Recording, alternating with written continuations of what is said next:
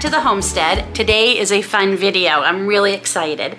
Today, Dave and I are going to be trying the ostrich meat that we picked up at our ostrich tour the other day. And I am so excited to try this. Now, we did buy this as burgers, but we're gonna do, we're not doing burgers because we're tired of burgers. We've had a lot of burgers in the last little bit for some reason. and I thought, well, all it is is ground. We're gonna make tacos. So we're gonna have ostrich tacos because it is Taco Tuesday tonight and it's one of our favorites. If you're new here, I love Mexican food, love it. Tacos is definitely one of our favorites. A lot of what I'm using tonight too came from my garden, which is kind of cool. Um, so that's, that's, that's a nice fun element. And yeah, we're excited to try these. So I have a few things going already. I'm gonna show you what I've got prepared so far.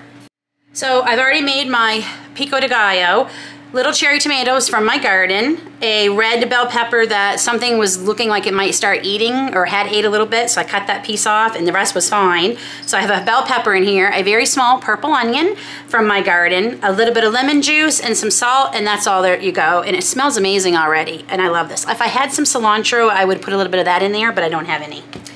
So next we're gonna make what I call my avocado crema. It's actually more of a guacamole crema because first I make guacamole and then I add sour cream and I've shared this with you all before but I'm going to share it with you again. So in here I have some avocado that I had frozen when they were on sale a couple weeks ago and in this from my garden is one very small garlic bulb so maybe four cloves. My wish is that you don't forget to hit the thumbs up button. I'm running, and you should too, and hit that subscribe button. I know what you've been asking yourself. How can I make a difference? I'm just one person. I can make a difference, but I'm just one person. Well, my friends, I'm here to tell you that it's free, quick, and easy. Share this video on your social media and make that difference today. We're gonna put a little bit of lemon juice in this also. Just a little bit a pinch of salt. And in this bowl, from last year's harvest, I dehydrated during the Every Bit Counts challenge last year a whole bunch. It might have been actually near the end of the challenge.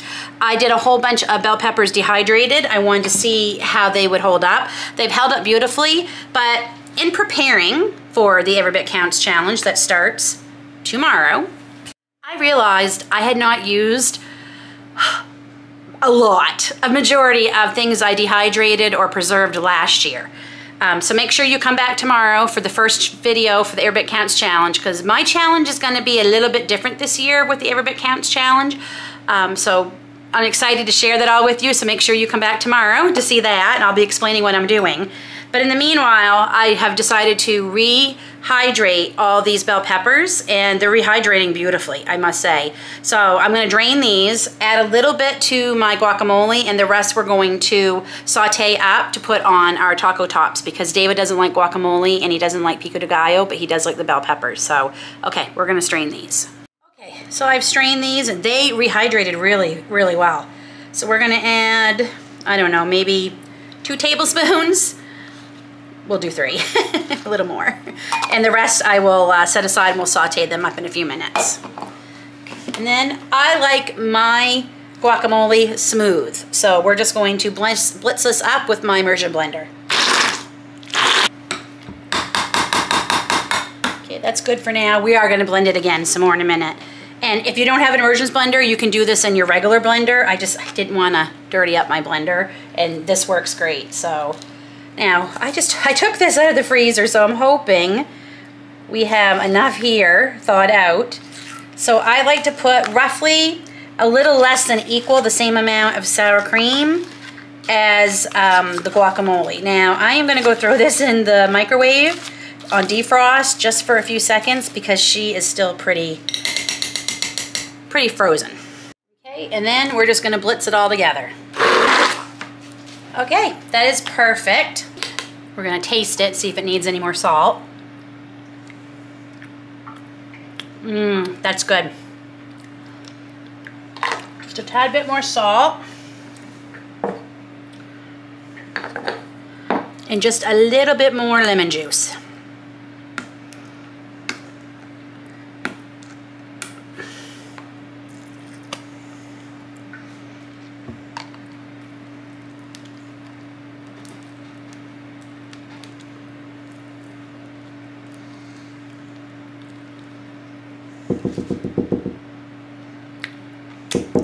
Oh, that's better. Mmm, that's good. So good.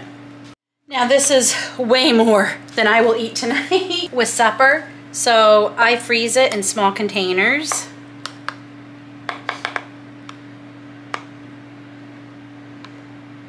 This is also really good with um, tortilla chips as a dip. Like really good. Okay, we got our peppers cooking up in the small frying pan here. And this was four burgers. Um, when I went to take them out, they were two on top of one another. So, and I'll tell you, it smells exactly like cow, like uh, red, like beef. And it is a red meat, which is what so surprised me, which obviously you can tell it's a red meat. I had no idea ostrich meat was a red meat. So I'm just seasoning it with my taco seasoning and I shared recently how I make mine and I will link that somewhere here or at the end of the video. Um, so you can see that if you missed it. And I just got to get my number one cheese shredder to shred some cheese. And I'm going to get the taco shells warming up in the oven. So there is the ostrich meat. So Dave and I actually prefer to have this as like a salad. So I just, I'm gonna crunch up my two taco shells. Get all my fixins going. And then we will take a bite and see what we think.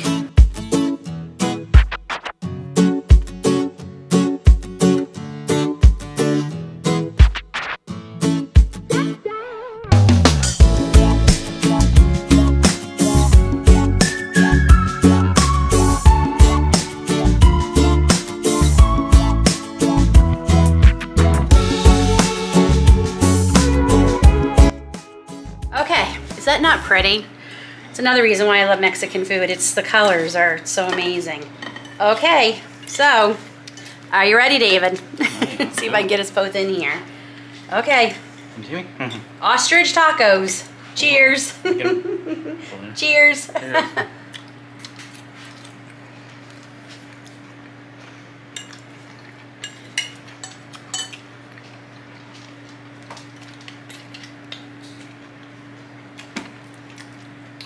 It tastes no different. You would never know that wasn't beef. A little bit different, but Not enough to make me say, what's that weird meat? Yeah. I think maybe there's a different spice or something, but not.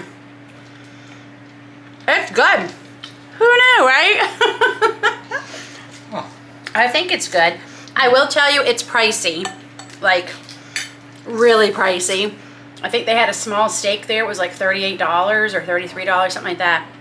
So it's not something we would buy a lot of, but hey, works. it's really good. I'll also put my video of, of the ostrich tour that we just took that I shared yesterday with you all, for any who might have missed it. So you can see all the amazing facts about ostrich.